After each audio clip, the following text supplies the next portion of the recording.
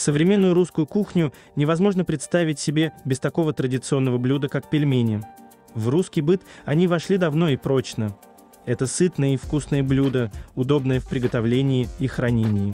Многие народы оспаривают пальму первенства в изобретении этого блюда. И действительно, подобные или похожие на пельмени изделия из теста с мясной начинкой есть у многих народов. Это и узбекские манты, и грузинские хинкали, и еврейские креплах, и китайские юипао. Форма этого кушанья у разных народов тоже различная. И начинка тоже очень разнообразная. Давайте посмотрим, как производят пельмени на производстве.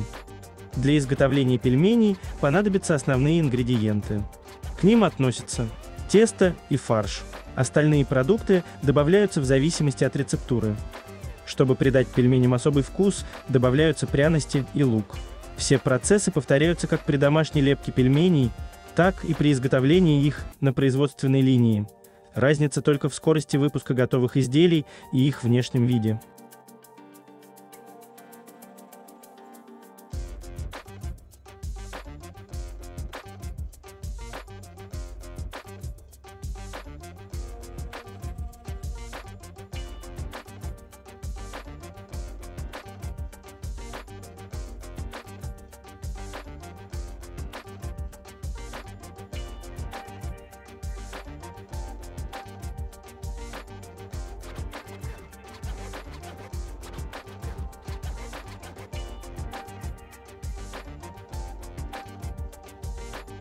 Многие производства с автоматическим конвейером также используют ручную лепку.